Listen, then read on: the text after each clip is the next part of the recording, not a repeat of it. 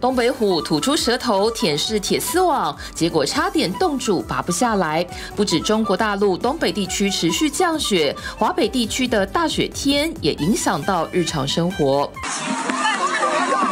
山西太原市区一处学生上学必经的坡道，因为结冰变成溜滑梯，不少学生滑倒坡该，只得跪在地上慢慢爬。另外，山西环曲县也因为降下冻雨，电力线路全被冰雪覆盖，导致大规模断电。居民在一片漆黑中生火煮饭，少了暖气供电，冻得直发抖。十三、十四不十三点五，不到十四。对，平常家里多少度啊？平常。还十八度、二十度。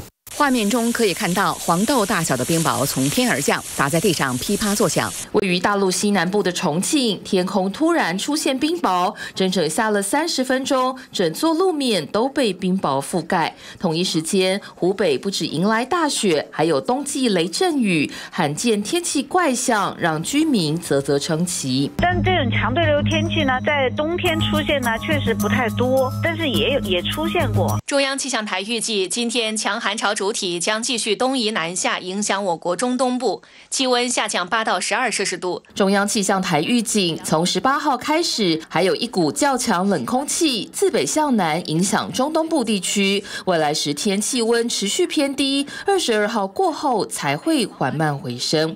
TVB 新闻综合报道。想看最完整的新闻内容，记得下载 TVBS 新闻网 APP。